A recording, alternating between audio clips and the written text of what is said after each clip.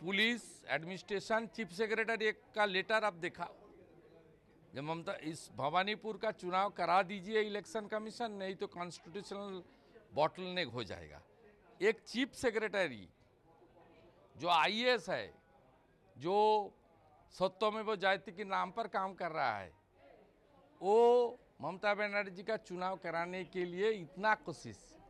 इसलिए इसमें पूरा के पूरा एडमिनिस्ट्रेशन माफिया, रुपया, पुलिस, गुंडा सबका साथ हम लोग को लड़ना पड़ेगा।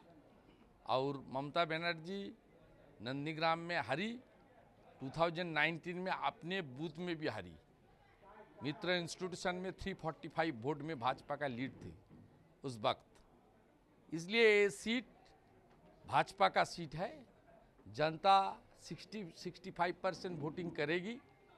ऊपर से नीच में उतार आएगी वोटिंग मतदान केंद्र पर जाएगी तो प्रियंका बंगाल की बेटी प्रियंका जीतेगी।